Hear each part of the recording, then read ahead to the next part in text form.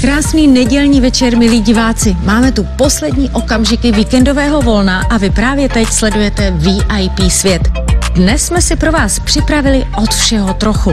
Tak pozor, začíná. Záhadný krasavec Šimon Bylina slaví narozeniny.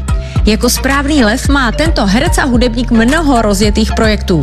Co je teď jeho vášní, čemu se věnuje a kolik že mu je vlastně let? Kdo z našich celebrit je největší psí milovník? Zjistili jsme, komu po zahradě běhá dalmatin nebo kdo zase dává přednost rostomilým Yorkshireům. Vy se teď podívejte na náš výběr psích celebrit. Hudební skladatel, zpěvák, politik a podnikatel. Tohle všechno je Michal Kocáb, který dnes slaví své 70. narozeniny. Jak to má se svou legendární kapelou Pražský výběr a čemu se aktuálně Michal věnuje? Televize Barandov dnes uvede premiéru vysoce oceňovaného filmu Berlíne miluji tě.